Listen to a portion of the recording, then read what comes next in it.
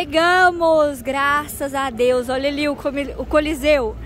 Tô nem conseguindo falar mais. Ai, gente, que lindo. É bonito, né? Olha, que massa. Não dá pra entrar, tinha que pagar ticket.